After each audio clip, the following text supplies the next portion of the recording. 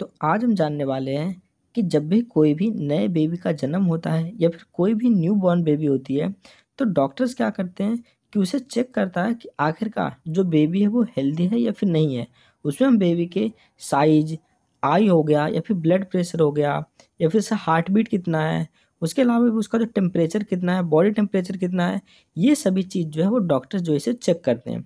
तो आज हम इस वीडियो में यही देखेंगे कि आखिरकार क्या क्या चीज़ें जो है जब जो डॉक्टर चेक करता है तो आखिरकार कितना जो है वो नॉर्मल होता है, जिससे कि आप भी इसका फ़ायदा उठा सकते हैं।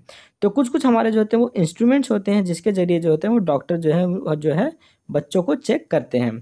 तो उसे हम क्या कहते हैं? Vitals of the new born baby vitals of new born baby का मतलब है कि आखिरकार जो है कि उसका जो फ़ंक्शन है बेबी का जो बॉडी फ़ंक्शन है, वो किस तरह से काम कर रहा है, उसका कोई भी फिजियोलॉजिकल कोई रिस्पॉन्स है या फिर जो बॉडी है, उसका क्या स्टेटस हो रहा है, क्या वो हेल्दी है या फिर नहीं है। तो हम सारे पैरामीटर्स देखेंगे कि कौन कौन से पैरामीटर्स जो है, वो हमें न्यू बॉर्न बेबी में देखना होता है या फिर नए जन्मे बच्चों में हमें देखना होता है, जिससे कि हम पता कर सकें कि हाँ बेबी हेल्दी है या फिर नहीं है। तो सबसे पहले हम क्या करते हैं कि हम हम जान लेते हैं कि हमारा जो है वाइटल्स कि vitals of new born baby जो है वो कौन कौन से होते हैं? तो इसमें जो होते हैं आपके चार मेन जो होते हैं आपके वाइटल्स होते हैं, जैसे ही इसमें आपके आ जाता है temperature heart rate respiratory rate और ब्लड प्रेशर ये चार जो है ना, ये आपके मेन वाइटल साइन है कि कोई भी न्यू बॉर्न हुआ, कोई भी जो है नए बच्चे का जन्म हुआ तो हम इसमें क्या करते हैं, इन चारों को ज़रूर से ज़रूर चेक करते हैं कि आखिरकार इसमें कोई दिक्कत तो नहीं है। तो आखिर ये कितना नॉर्मल होता है? ये तो हमारे पहले जो है, ये हमारे चार साइंस थे। लेकिन इसके अलावा भी एक साइन को और ऐड किया गया है, जो कि हमारा कौन सा आता है? हमारा ऐड किया गया है पेन। पेन एक अलग तरह से ऐड किया गया है कि क्या बच्चे को पेन फील होता है या नहीं होता। उसे अगर हम कोई पिन चबाते हैं, फिर हल्का सा भी कहीं प्रेस करते हैं तो वो रोता है या नहीं होता है? उसे दर्द का एहसास होता है या नहीं होता है? तो ये भी एक तरह से हमारे वाइटल्स के अंदर ही आ जाते हैं। एक एक करके हम देखते हैं कि आखिरकार बच्चे के अंदर क्या क्या चीज़ नॉर्मल होता है वो कितना होता है। सबसे पहले बात करें टेम्परेचर की तो जो बच्चों का जो नॉर्मल टेम्परेचर होता है ना, क्योंकि हम टेम्परेचर को क्या करते हैं, हम डिग्री सेल्सियस में या फिर डिग्री फ़ारेनहाइट में चेक कर सकते हैं। जो हम टेम्परेचर चेक करते हैं, जैसे अगर आप कोई सा ऐसे नॉर्मल अगर आप थर्मामीटर लोगे तो इसमें क्या होता है कि कभी कभी चेंज करने का रहता है कि हाँ आप उसे डिग्री सेल्सियस में भी चेक कर सकते हो, या फिर आप जो है डिग्री फ़ारेनहाइट जैसे कि हम नॉर्मल भी देखते हैं कि कहते हैं हाँ भाई, कितना बुखार है तुम्हें? तो वो कहता है कि सौ है, निन्यानवे है, एक सौ एक है, एक सौ दो है। तो वो किसमें होता है आपका? डिग्री फ़ारेनहाइट में होता है।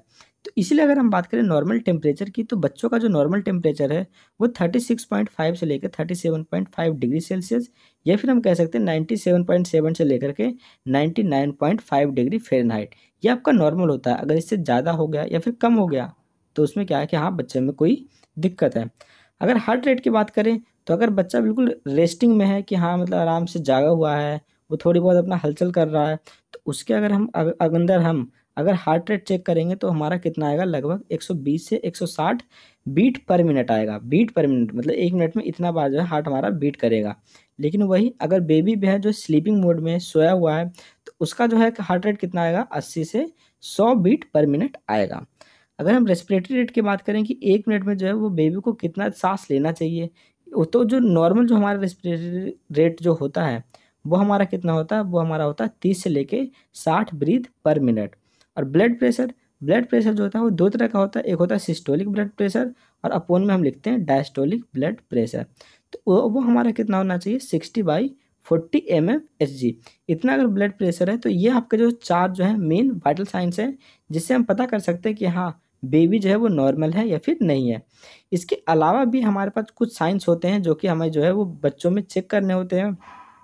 जैसे कि उसका वेट कितना है हाइट कितना है RBC count haemoglobin platelet WBC count या फिर ऑक्सीजन कितना है।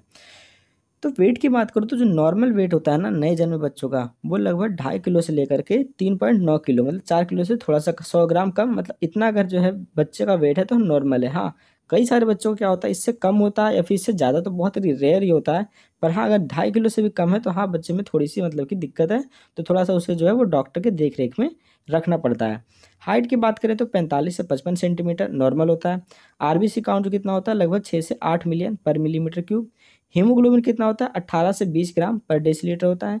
प्लेटलेट जो होता है वो ढाई से लेकर के साढ़े चार लाख तक का प्लेटलेट जब आपका नॉर्मल माना जाता है।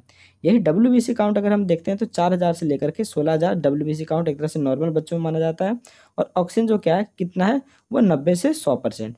तो ये सारे के सारे वाइटल साइन की कोई भी जो है वो नया बच्चे का जन्म होता है। तो इन सभी चीज़ों को जो है वो डॉक्टर्स चेक करते हैं कि आखिरकार जो है नॉर्मल है या नहीं है। कोई भी दिक्कत होती है उसे क्या कहते हैं डॉक्टर अपने ऑब्जर्वेशन में रखते हैं उसको करेक्ट करते हैं उसके बाद ही जो है वो बच्चे जो को जो है वो हॉस्पिटल से छोड़ते हैं।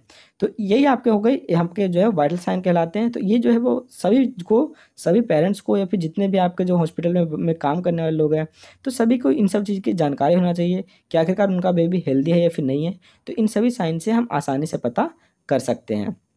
Thanks for watching